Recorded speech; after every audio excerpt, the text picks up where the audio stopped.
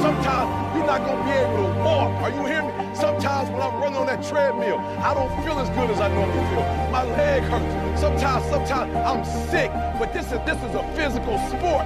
And if you want it, you gotta go get it. You gotta play hard for it. Are you hearing what I'm telling you? Because if you quit right now, you ain't gonna never